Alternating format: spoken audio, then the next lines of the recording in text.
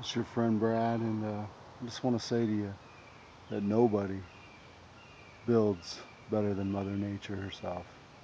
How beautiful is this? And I'm on the bike trail heading into New York City from Brewster, New York.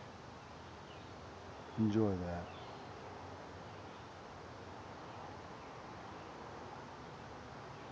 And quiet my mind.